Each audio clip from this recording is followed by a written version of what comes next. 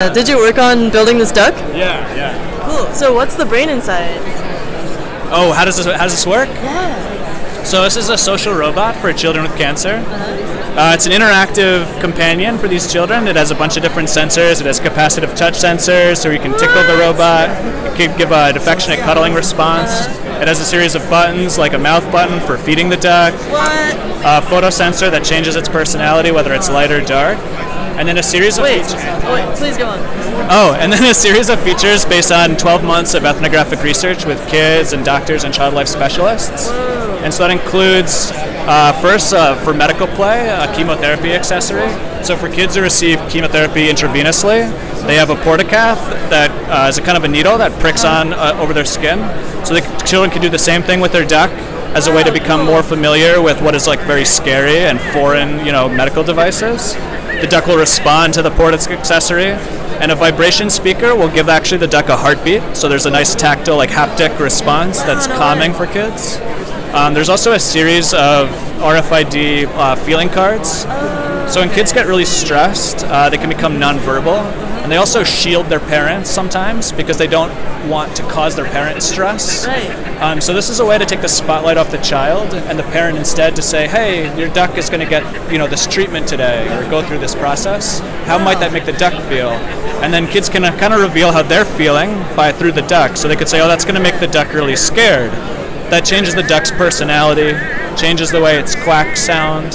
And then parents or child life specialists can say, well, like, how do you want your duck to feel? Right. And a child might say, like, I really want my duck to feel calm. Uh-huh. When they hold the calm card to the duck, Oh, let's see if I can get it again.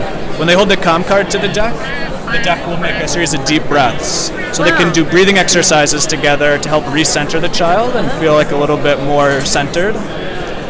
There's also a spaceship accessory Whoa. Yes. that blasts kids off to like a different place. So that makes the duck become kind of like a sound machine.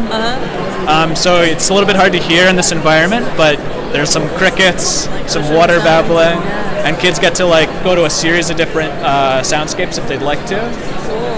And it comes with uh, also a mobile app that enhances a lot of the play that's already available in the standalone. Uh huh. so that's like this one is just a forest scene of the soundscape that you're hearing. There's also a place to feed the duck and bathe the duck, uh, and just some medical play with the duck. Cool. Uh, I'll admit, I, at first I just kind of thought this was a marketing gimmick. I'm sure a lot of people say this, like, but it seems like you've seriously put a lot of thought into like Yeah, and absolutely. research. That's really cool. Yeah, it's kind of fun because it's uh, you know it captures something that's very serious, but in a in a very approachable way. So, yeah, what's um, what does it run on? Uh, it runs on batteries, Oh, okay. so it's got a series of motors, and all the sensors are powered by a microprocessor inside of the duck. Uh, there's a microphone; it can detect speech or music. It'll quack back to you when you talk to it when it's in silly mode. I don't suppose you can say what microcontroller or what uh, processor is inside. Uh, it's the same chip that's common in, in other products like this. Okay. Yeah.